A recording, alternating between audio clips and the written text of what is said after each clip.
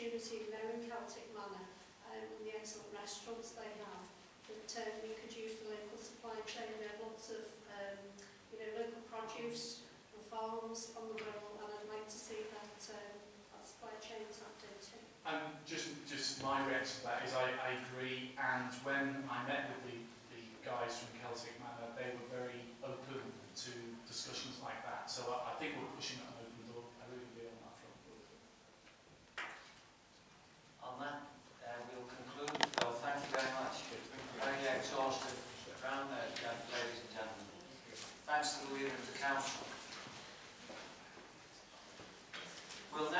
now go on to the witnesses, and our first witness is Elizabeth Davy, a concerned resident. Elizabeth. Second time lucky, perhaps. Elizabeth, could I just ask you to put your microphone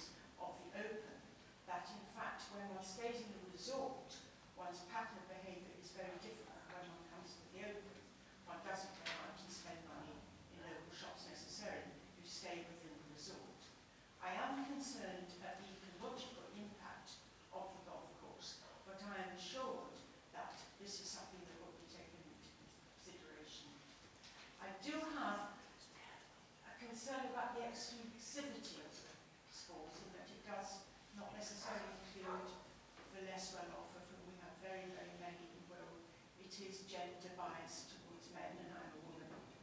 And uh, it doesn't necessarily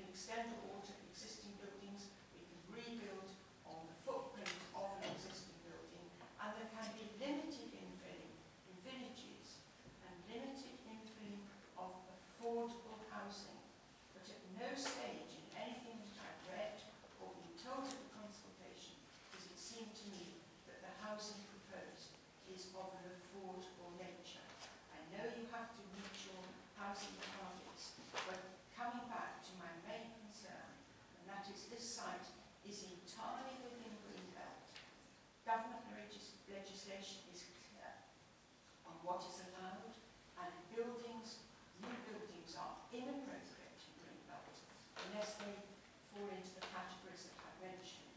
I know we are still having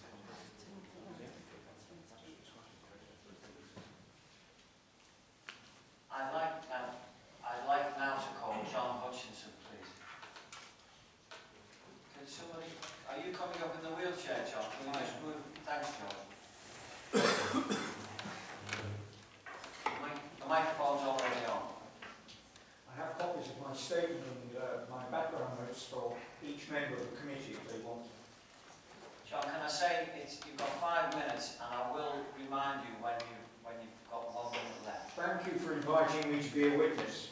I speak as the former prospective owner of golf resorts and as someone who has made money from the sale of land and as a former environmental scientific administrator. Now is not the time to be spending 600k from reserves on a vanity project that is attractive to NJVG only because of the houses. NJVG was formed on the 24th of June 2015, registered as a small company at a private house with £1,000 of shares held by five directors. Anderson is listed as being director of 18 previous companies, many of which are dissolved. Calms Construction Limited, that built the mid-class luxury homes, is liquidated. Is council spending 600k because NJVG doesn't have it? I have estimated that council's total expenditure on staff and other support costs so far exceeds £2 million. The project does not represent a contribution to council's 2020 pledges on investment, jobs, tourism and leisure. It's an investment made with the intention of making shareholders more wealthy. My aim as an owner of golf resorts was to make profit at the cost of local businesses, but they were reducing my footfall and my profit. The supply chain is not local. Everything is bought from national suppliers, and if I may, I will say brakes is one of them. Everything comes from national suppliers. 2020 pledges seek an increased job skill base that the resort will not meet. All of the jobs in the golf resort are at skills levels extant in the borough. Tourism income on the resort will not accrue to the borough. It's an ethic of business that it must extract capital and deliver it with all due haste and care to shareholders. The developer cannot afford for it to be otherwise. The offer will be minimum four star. Where controversially on Market Street, is there anything comparable? A golf resort will not provide leisure for the borough's population. It was my aim to attract more than the locals because they, as punters, had neither the time, nor the money, nor the inclination to cross my thresholds. Snobbery, I know, but golf resorts do not make money from locals. A visit to any resort hotel will make my point. Council's 2020 pledges for homes and its dire need is not met by the project. However, should it fail, a new town of 3,000 houses could. Director has supplied no answers to my questions seeking to learn how the borough's GVA will be increased. Neither does he quantify the many costs and losses that the borough may face in future. Council has failed to meet the Aarhus Convention. Can the road system of the area cope with the demands of constructor and visitor traffic and the new fire station? Sale of the land will bring in more than agricultural rent income. I accept that. I have sold land in Surrey the building of houses. That land had been used by deer and was home to a diverse wildlife. The open aspect was enjoyed by our neighbours and by passers-by. Today, they see houses with neatly trimmed gardens. Why is the Langfields not a site of biological importance, as was recommended by NEAS in 2009 and kept secret by two council officials, revealed only by my FOI request? Is it not an SBI because the protection that that would afford the site is creating a barrier for developer to overcome? Cabinet employs circular arguments to justify itself. Receipts can be used to build a new access road. You've got one minute left, John. Right. Development of Wirral Docklands would meet all of the 2020 pledges. Docklands could be regenerated over and over again. The land is not poor quality. It's, it's uh, classified by the Soil Association as being moderate fer- fertility to highly productive. Two-thirds of the community do not support the resort. Council received 1,400 responses to its survey, 1,311 were in direct opposition or stated doubts. The site is home to the Blacktail Godwits. It could be a triple SI. Why is it not an SBI? Because it would be a, a, a, a, constraint upon the, the developer. Thank you, Chairman and Committee, for giving me this time. It's not easy to compress 15 years of research into a five-minute speech. This is the 7th of December. In 1941, it was a date of infamy. This could be a date of infamy if the wrong decision is made for the green belt. Questions, anyone? Could you just there for a second? Anybody like to ask any questions? Geoffrey? Thank you. Mr Hutchinson, um, you've told us that you um, have been a potential golf resort developer. Yes. Um, so could you describe yourself as a poacher turned, turned gamekeeper? Yes. Um, would you like to expand on the concept of uh, the revenue not going off the resort? Fine. First of all, are toxic to the natural environment and they're toxic to the uh, local economy. Um, my aim was to uh, make my offer the best that there was in the vicinity. People wouldn't want to go anywhere else. People would come to my resort and stay there. All of this business you've heard about, the, about conference uh, money and people spending money in the restaurant, where do you think the profit goes? The profit goes into the pocket of the developer. Doesn't go outside the borough. The people who come to the resort won't leave the resort. And if they do, they'll be doing it for what we used to call, uh, when I was uh, in the business, reciprocal play arrangements, whereby uh, I, as the golf resort owner, developer, would make a reciprocal arrangement with a nearby golf course that had perhaps hosted an open a couple of years ago, and uh, perhaps an Englishman had uh, won the open there. Instead of paying £250 uh, to play the course, we would, uh, they would offer my punters £50 to play. That £50 covers the cost of running the golf course for the day. But the point is, those punters would then spend their money in that restaurant that's on, on the uh, resort. None of the income that's on, that is, none of the expenditure on the resort leaves the resort except in pay. And those jobs, they are not, uh, uh, what did you call them, uh, uh, training John, jobs? John, I I think you've answered that question. Okay, you're fine, okay, thank you. You're repeating yourself there. Julie, do you really want to ask a question? Thank you, John. Um, I suppose really for me, it's perhaps a difference between the golf resorts that you were developing and the Celtic Manor resort that I've seen in South Wales. Um, it, you know, you would have to go to the Celtic Manor resort because it's really only the M4 that passes um, I know, alongside it. I know, I know. Um, so you are um, um, you, you are actually on that resort and there wouldn't be anywhere else to go, which is different to where Hoylake is. And the other thing that I would dispute with you is that you say you've used Brakes and some of the um, some of perhaps our local um, pubs would use Brakes as sort of you know freeze-dried fruit, food and pre-processed No, it food. doesn't at all. no.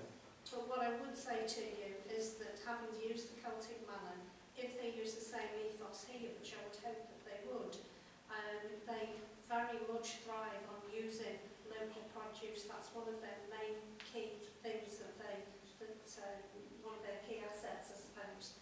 And um, I wouldn't see why that would differ here. In fact, to come to Hoylake, it would, um, you're actually coming to an area, so I think that the other bed and breakfast places and the other shops are going to benefit from people who decide to come off the resort because there'll be lots of other things to go to, which is completely different to the Celtic Manor situation. Thank you, John. Can I answer that, Chairman? Yes, could you be very brief? Yeah, I please? don't, don't- I don't understand. Uh, the whole point of a golf resort is to stay on resort. It doesn't matter whether it's Celtic Manor uh, beside the M4 or whether it would have been one of mine in Cheshire or one of mine in Scotland. Okay, John, you've answered that, thank you. And thank you very much. I'm disappointed.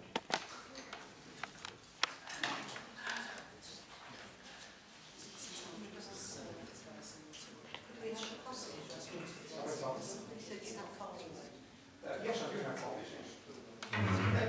If you can, hang on, Christina, if you can leave them on the table and and any members can take them Yes. at their leisure. Um, Just there, that's I fine. apologise for the highlighting of the names. I got the, the attendance name from the uh, uh, online and it's different.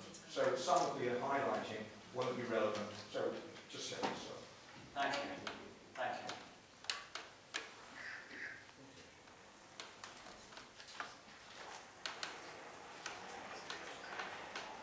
Could I now call Kieran O'Rourke, please?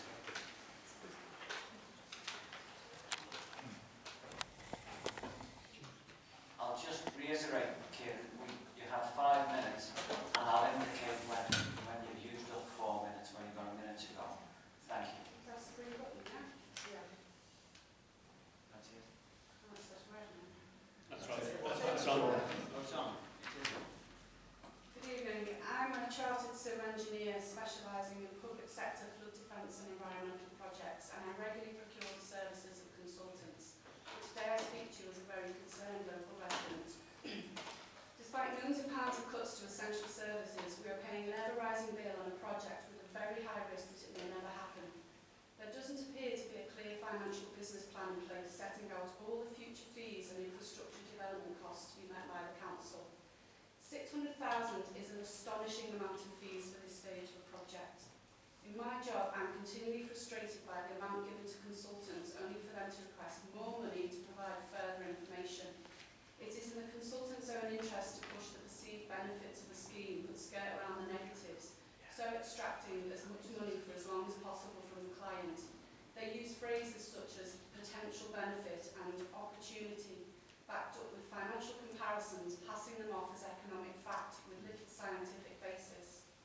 However, in this case, even the consultants concluded their previous report by stating that this resort is not viable without the enabling housing and that there is a high risk that it will not meet planning guidelines site contains a wide variety of fauna and flora, including several internationally and nationally legally protected species. Planning policy NC5 states the local planning authority will protect areas known to contain legally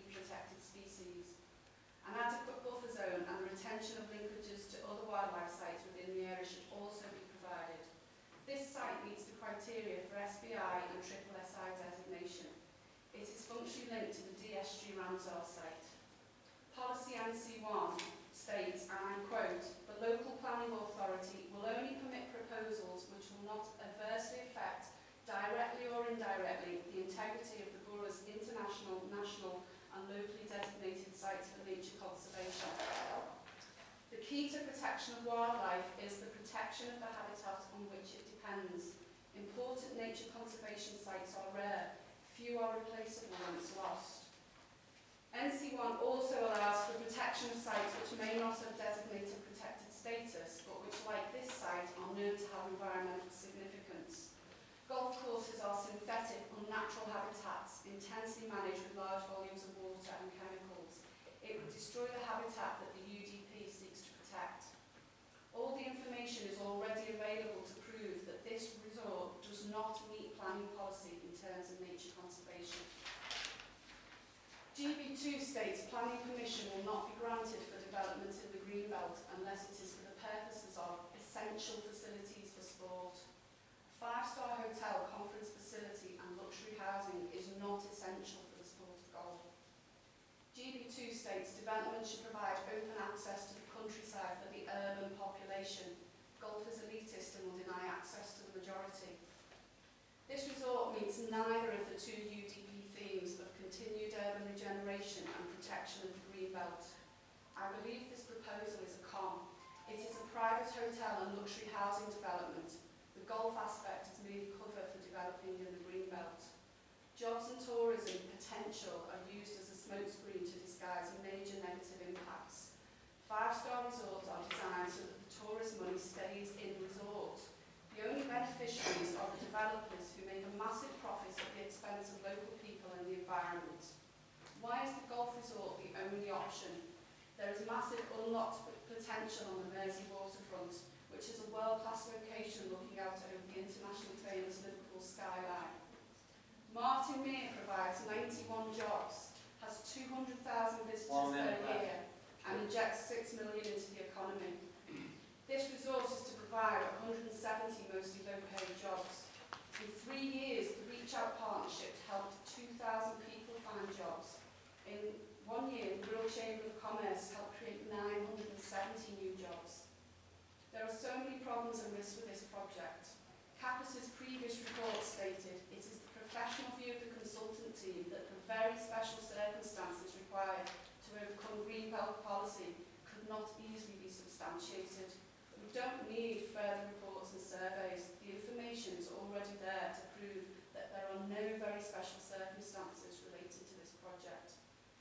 financial manners to proceed with this project. The money could be far more wisely spent to achieve better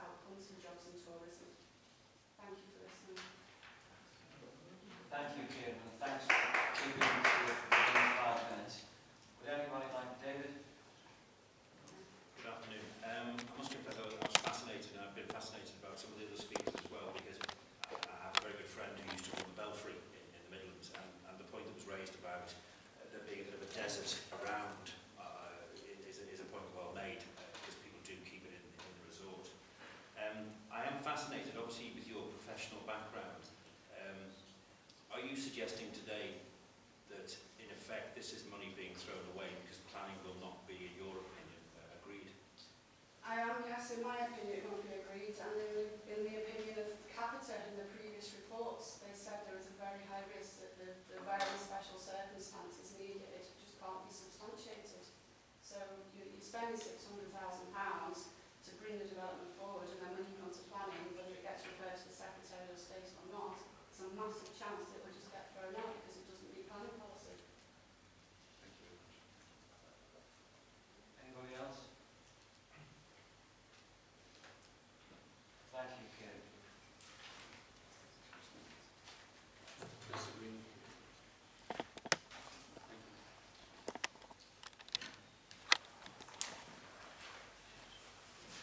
David, please. Mr. David Ball.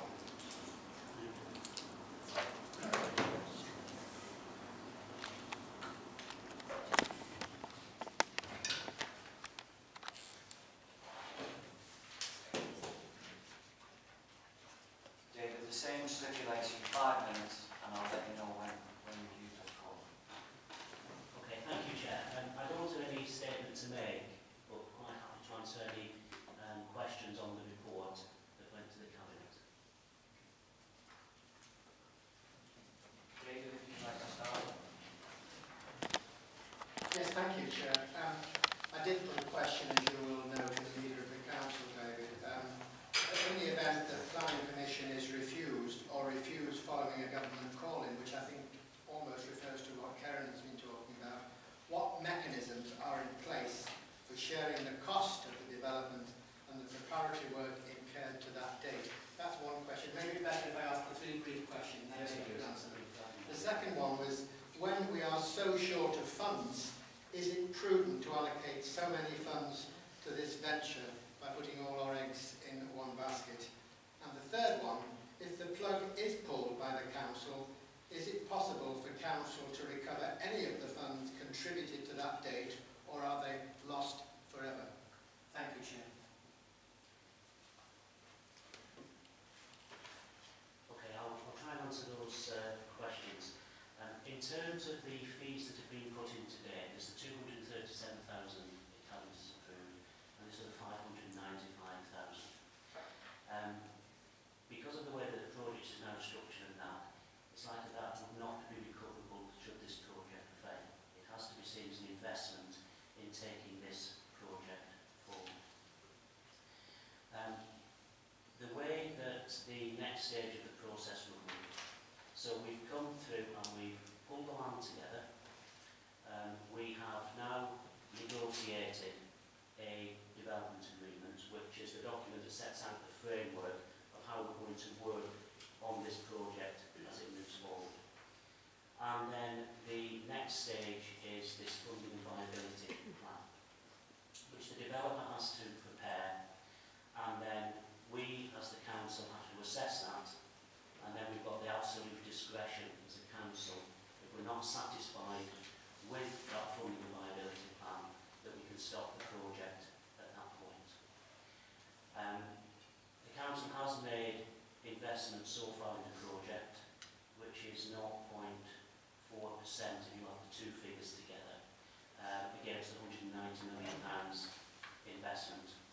Uh, the Jack Joint Venture Group is putting in somewhere in the region of about 1.25 million pounds of their own money to take the project through these processes and then through to planning. So both parties, if you like, are making contributions towards uh, the development of this project, which is being taken forward in stages. Um, in terms of the question that Councillor Elderton asked about putting all the funds in one basket, I'm not quite sure I fully understand the question there. I mean, this is a 190 million pound project that the council um, has made decisions to invest in to seek to take that forward. This is not the only regeneration project, of course, that the council is currently engaged in or putting um, support into. So, you know, we've got the Wirral Waters projects, Birkenhead work, the work we do down in Bromborough, the International Business Park, um, and, and, and so I don't see this as putting all the funds in one basket.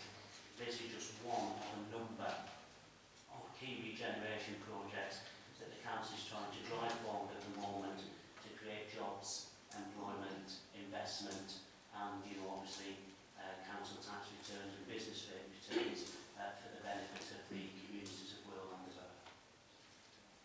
So, that's the question. Thank you, Chair. In response to that, can I just make another brief response, please? Um, clearly, uh, people, a number of people have alluded to the fact that um, the company, Jack Nicklaus Company, doesn't seem to have an awful lot of clout behind it. So are you saying you're relying on Celtic Manor? That's the first part of that question. And the second part really is the funding. It may only be 0.4% or whatever it is as the total cost of development, but it's still an enormous amount of money for, to be allocated to one particular project. And as you know, and we've discussed this previously, David, I am totally in favour in principle of the idea of doing this, but I'm very concerned that as time progresses at the increasing costs and problems that might arise as a result of going as far as we're going. So the final question to that was, you already said that we've probably lost the 240 or 50,000 or whatever it is, if it was to go belly up. Are you also saying that if this additional funding of 600 odd thousand is allocated, if it goes belly up, we would also lose that? Because what it would mean is that if we didn't go to planning, if there were some problems on the way that it caused either party to pull out, can you possibly get any of this money back from a joint venture body who don't seem to have any clout at all behind them? I'm just bothered. I- I'm not bothered about the development. I'm happy with the idea. I've built golf resorts myself. I was involved in the development actually. So let's just be clear where I'm coming from on this. I'm not against it in principle. I'm very, very concerned on a non-party political basis on the amount of council taxpayers' money we are putting at risk. And I need that clarification that there is a chance, quite clearly, that we'd lose the 250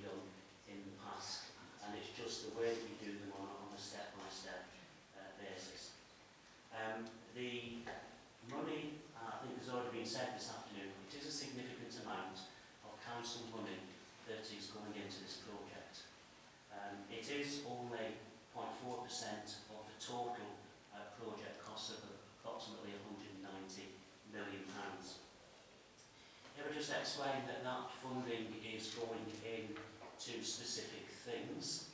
So the money uh, that is part of this report is going into specialist consultant fees um, that the council needs to support and provide advice on the golf resort project because we don't have that specialism and that commercial approach and all of those other skills in-house because we don't do projects like this, obviously, um, every day of the week. Uh, so it is going into those costs that we actually need for consultancy. Uh, there's some legal fees in there. The council does own and has responsibilities for any liabilities that come from the landfill site that we have in Hoylake. And so, as a council, and being responsible, we would have to make sure that there are no issues from that landfill site, whether we did the golf resort project or not. We have several other landfill sites across Wales, as you may know, where we have those.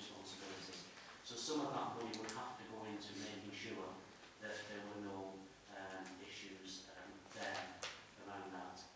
Um, coming on to the, um, the, the money back situation, um, the project is progressing at the moment with both parties investing money in taking the project to the funding and viability stage, as I've explained.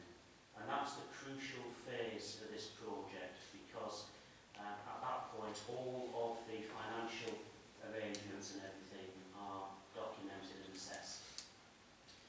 Um, if the project doesn't proceed beyond that point, then my understanding at the moment is the investment that the council has put in uh, will not come back to it. Equally, the investment that the Jack Nicklaus Joint Venture Group has put in um, will not come back to them either. So, with any project,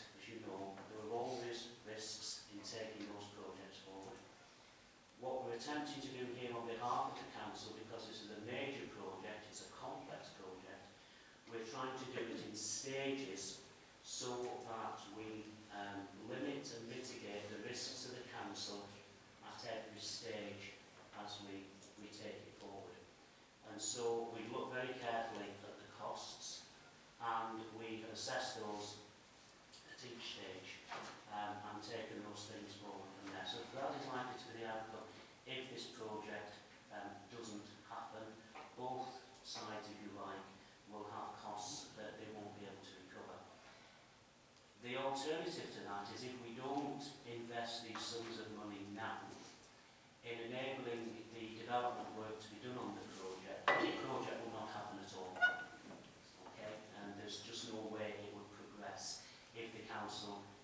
decide to take that investment. Um, I think a couple of questions, and it might be um, one that Councillor Elderton about the sums of money going in are significant. What I don't envisage is the requirement for the council to put any more money into the fees for the consultants or the legal work that we're doing at the moment. Because when we get on to the next stage, situation where we're coming back and asking for any more fees to take the project forward because from here on in, if the funding liability assessment is satisfactory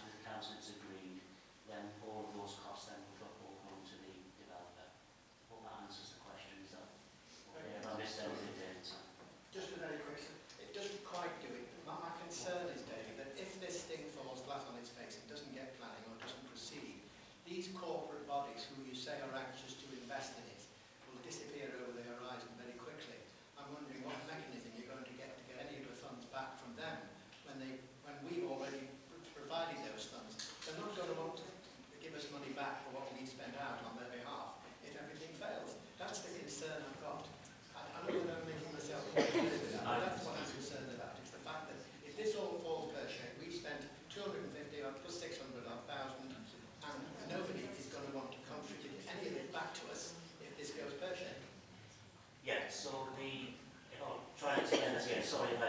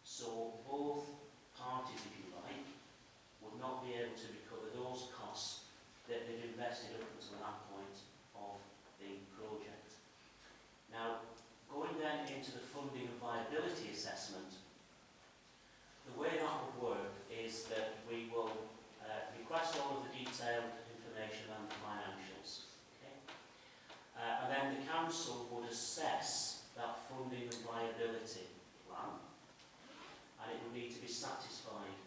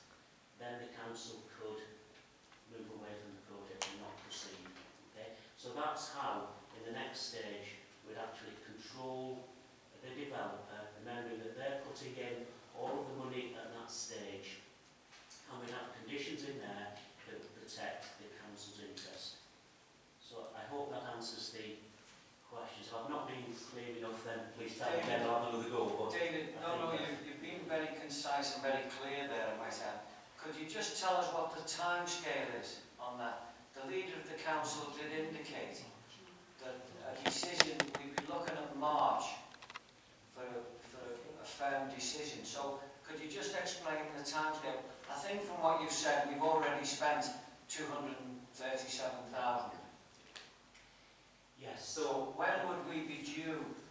If you could just explain the process when would we be liable, or when would, liable is the wrong word actually, when would we, we be expected to spend some more money? That might, that might help. That's how yeah. Okay, the, um, the timetable as it currently is, if um, this calling determines that the project should proceed, um, what the council will then do is sign the development agreement that's the subject of this report um, as quickly as possible.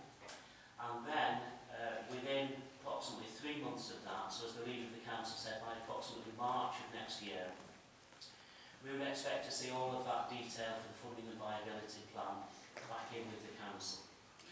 Now, between now and then, we will have to spend some additional money on our specialist consultancy support to take the project forward to that funding viability phase.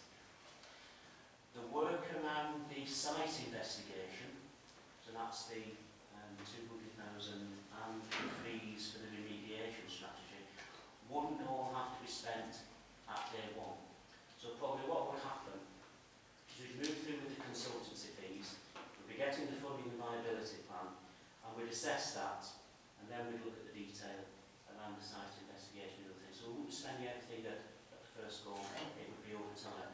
But why this report is asking for approval for those figures now is that we're working on the basis that, you know, we will have to progress to that stage. And what we wanted to do with members was, one, make the position very clear, but two, make sure that that funding um, was secured because once we move in, undoubtedly, you know, it needs to move on to the next stage uh, from there. So I hope that helps, Chair. It does, it does, David, thank you. And Dave? Thank you, Chair. Uh, three questions, possibly two, but I don't want to go into the paper we about. Uh, first one is in relation to the, to the section which is the landfill site. As you know, landfill, is lively normally from 25 to 40 years. Pro- problems from that is leachating gas emissions.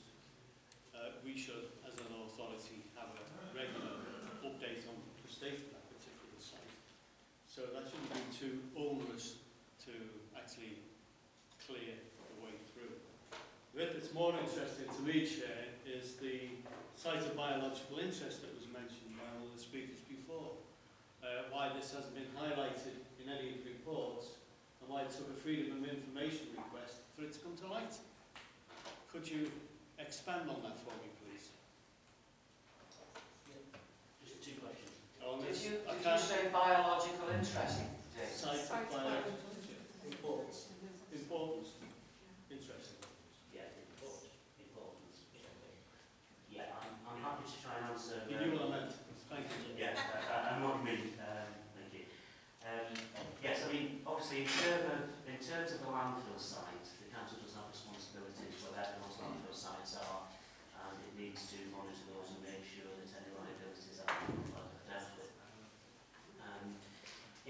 terms of the issue around the Langfields site of biological